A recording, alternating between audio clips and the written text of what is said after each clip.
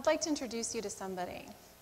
Um, someone who will listen to your every mood, someone who knows how to fix everything that's wrong in your life and your house, um, someone who cares very deeply about you. I'm going to show you their picture.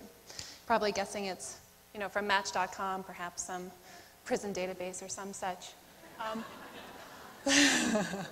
but uh, I'll show you. I'll show you a baby picture. Does anyone know um, what these are? Who these are? Maybe this is an awkward family photo, perhaps. Anyone? these are, these are stem cells. Um, these are these are human embryonic stem cells. Um, every one of us at one point were one of these, right? Um, pretty incredible. And um, what is a stem cell? Anyone know? Um, we've heard a lot about them, right, in the news. Um, stem cells are really cool. They're these little itty bitty um, pieces, building blocks of life, right? And um, what makes a stem cell a stem cell is that they have this kind of dual ability. Um, this ability to either self renew, so become, divide and become more and more stem cells, or they can differentiate and become any one of the 200 types of cells or more inside our bodies. This, they've got a, a really big repertoire. Okay, so these are, these are embryonic stem cells. And um, this is a beautiful example. These are um, neurons derived from embryonic stem cells. And as you can see, they're quite beautiful and um, you know, quite specialized looking. And I, just as an aside, I mean, um, has anyone if anyone's seen lots of portraits of cells, um, you, you, start to, start to realize that beyond just being data for us scientists in the lab, they're actually quite beautiful images. So just to, just to appreciate those for a second. Um, but, you know, in a way, I, I did a bit, a bit, of a bait and switch because um, we, uh, those, those embryonic stem cells that I showed at the, at the beginning, those, the little baby picture, that's not exactly like who that would be in our bodies. Um, so so he, um, stem cells can actually be, be, divided into about two broad categories. The first being um, what I just showed, embryonic stem cells. So those are stem cells that are derived from um, uh, embryos that were created, uh, discarded during um, in vitro fertilization processes. And, um, but what we have in our bodies that regenerate our are regenerate and renew our bodies every day are adult stem cells. And you're like, what's the difference? And actually, um, from a stem cells perspective, um, even infants are, are adults because, um, well, you stop being embryonic like right after those first couple divisions. But anyhow, um, so embryonic stem cells can become any type of cell in the body, but adult stem cells have a more limited repertoire. They can self-renew and they can divide and become more and more stem cells, but they can't necessarily become any cell in the body. So um, you might have hematopoietic stem cells that can just become um, different kinds of types of cells in the blood, or you have um, stem cells in your fat. We'll get to that. You're like, stem cells in your fat? Really? Um, and those can become um, cartilage, bone, or, not surprisingly, fat. Um, but anyhow, so there's this idea of pluripotent, so these cells can become anything, or from the adult stem cell perspective, just multipotent, okay? All right, so some examples. Animals that would have um, otherwise be destined for fur coats and people who are bald would be really excited to know about stem cells in your hair follicles, right? Oh, aren't these beautiful? I mean, this could almost be a Jackson Pollock. Um, these are stem cells from the fat, right? So lots of people can now feel altruistic about their liposuction. Um, we have um, stem cells in our hippocampus, right? Does everyone know what that is? Hint, hint, elephants have a really big one. Um, it's the part of our brain that um, makes memories. And we have stem cells in our hippocampus. That is so cool. Um, and there's lots of really great research that is um, studying the effect of stress and sleep on our ability to create these stem cells in our brain, but also the ability of those stem cells to become real memory forming cells. So lots of food for thought there, no pun intended. And um, these cells are so active and so amazing. And this is like a really cool picture of a stem cell that's emerging from bone. Um, I, just, I just really love these images. Um, so we've got like, you know, we can go on this whole stem cell safari throughout the body and really look at all these amazing, um, cap, you know, images of, of these cells in action. And these are all within every one of us. Billions of cells inside our bodies conspiring to keep us alive, usually in spite of us, every day. Um, in the lab, what can we do with these cells? Um, we can do some interesting things because, not surprisingly, there's a nature versus nurture kind of thing that happens in the body as well. So these are stem cells that are derived from, um, from inside the mouth, so dental stem cells. And these can actually, in the lab, if exposed to certain factors, can become muscle cells. You're like, what? That's crazy, right?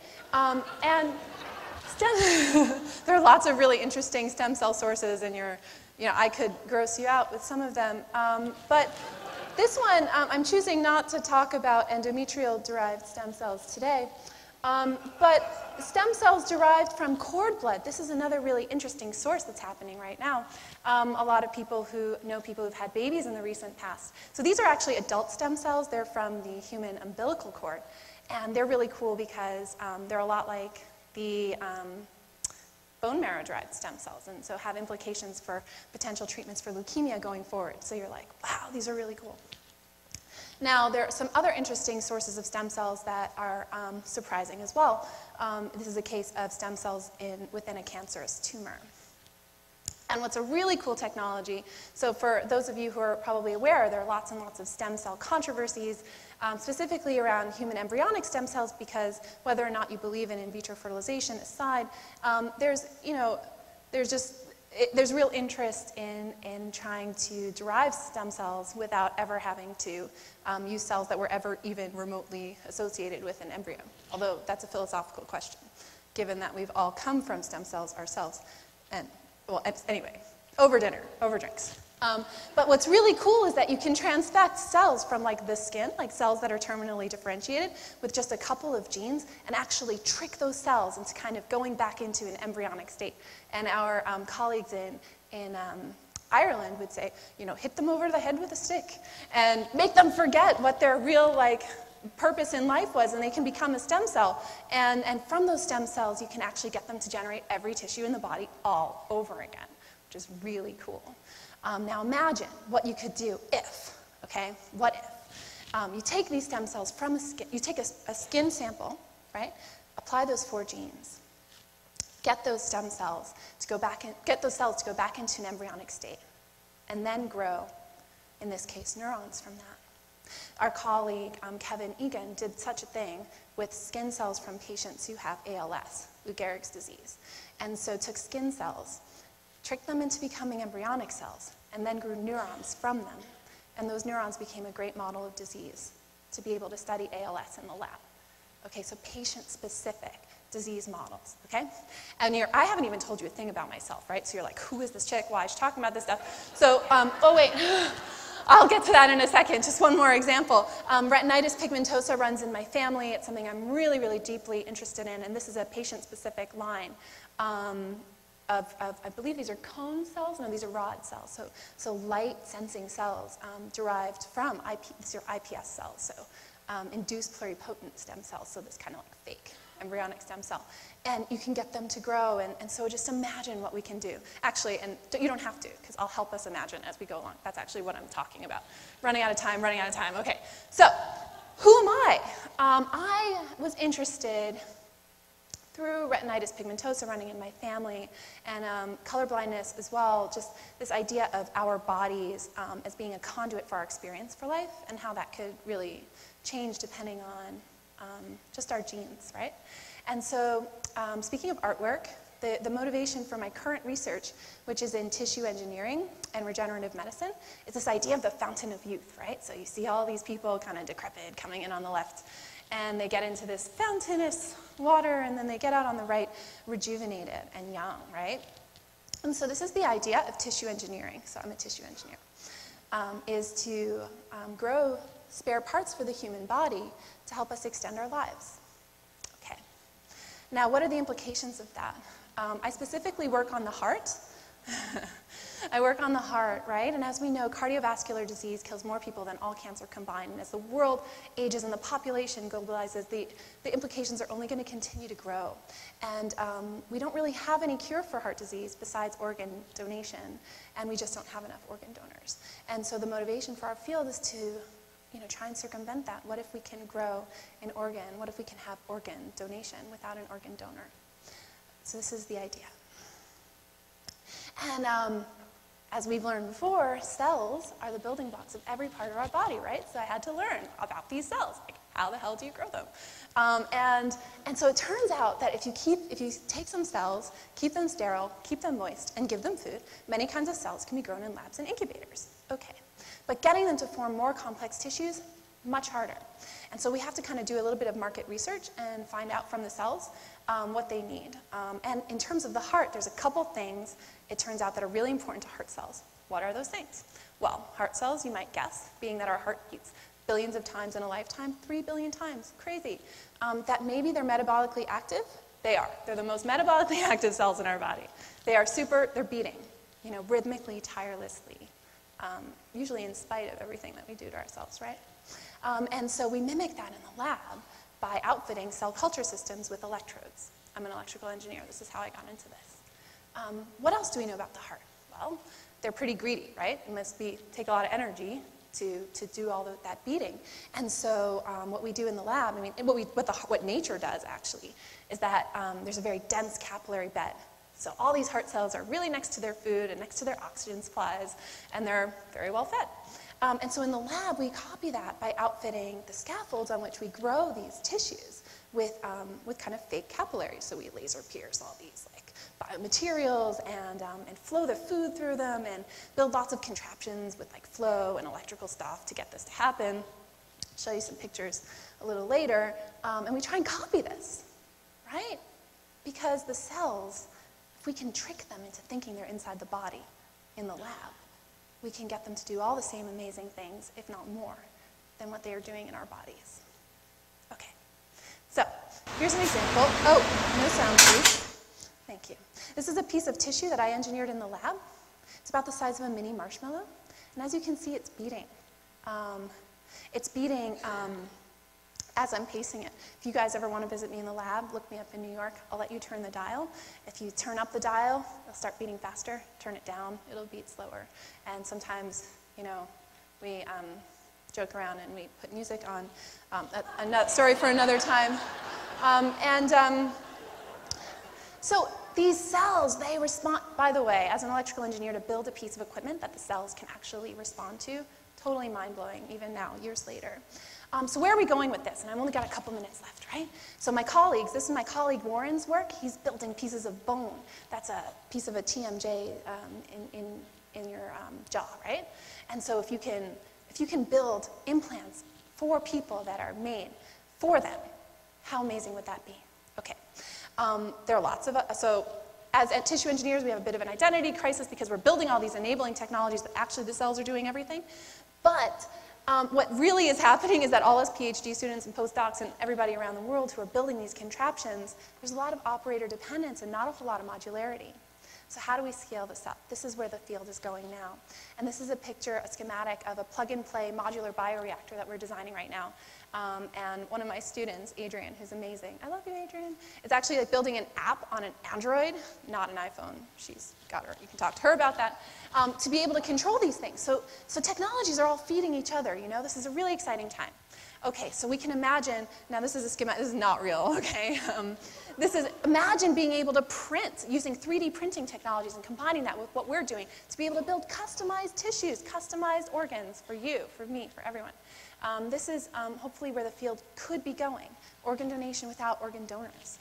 Um, now, what about making that really small, okay? What if, okay, so you know how much, anyone know how much it costs to develop a drug? Over a billion dollars. That's insane. Why? Most drugs fail really close to the end of their clinical trials. Why? Two things, okay, and they're pretty obvious. One, we are not rats. I mean, I live in New York, right? Like, I, we have a war going on with rats every day. Um, there's a great book called Rats, totally recommend it. And we're not rats, so if we're testing stuff in rats before we put it in people, there are going to be some surprises. Secondly, anyone wonder, like, oh, 99% we're like chimpanzees, but totally we're not chimps, right? Now, the, now the thing, same thing happens with people. We have so much in common with each other, right? And it's beautiful. 99.99999% of who we are is the same.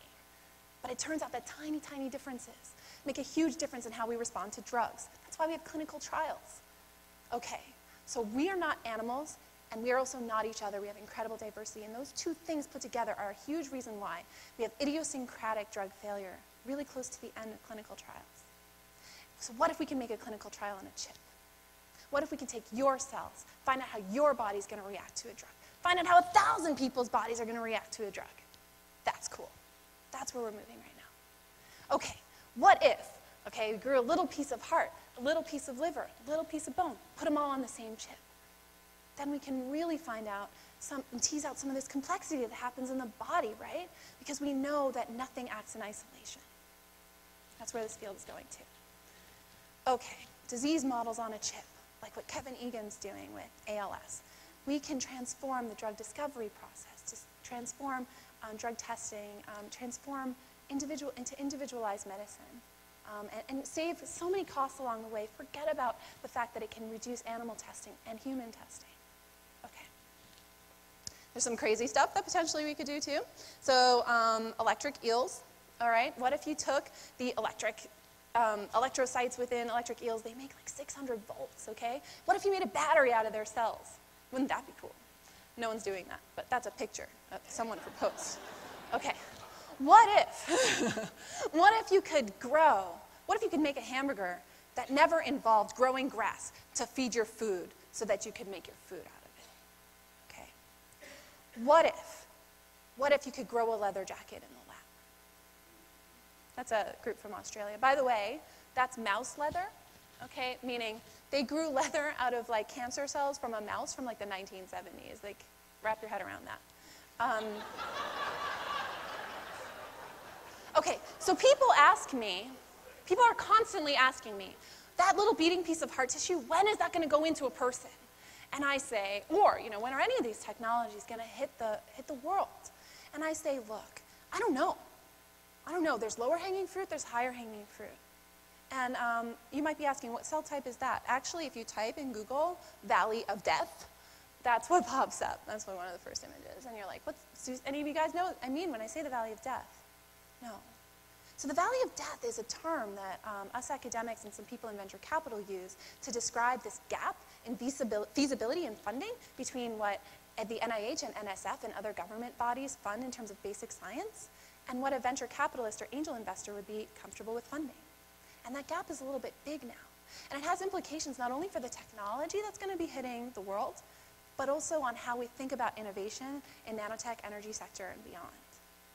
So to try and prepare myself for some of this, because as we know, we are nature and nurture, we are DNA and environmental factors, right? This is what I've learned from the cells. Um, I enrolled in business school. So I'm trying to figure out how to do this better. And I would welcome your ideas on how to do it better, again, over drinks. Um, also forgot my business card, sorry. Um, but I want, that's not the thought I wanted to finish with today. I really wanted to finish with kind of a personal, um, a personal um, mandate that I like to, to have for myself. Like, I want to share with you what I've learned from the cells um, for my own life. And um, one of them is to kind of channel my inner stem cell. And I invite you to do the same and to think, you're laughing. Just think, how can I incorporate um, my, how can I think about my choices when I think about self-renewal and creativity in my own life? Okay? And then secondly, to think, just like all these cells, I often feel quite small. And even if I felt big, I actually am quite small. And no matter how big or small we feel we are, we actually are quite small. Um, but we all have a role to play. And so I, I just invite all of you to kind of channel your inner stem cell. Thank you so much.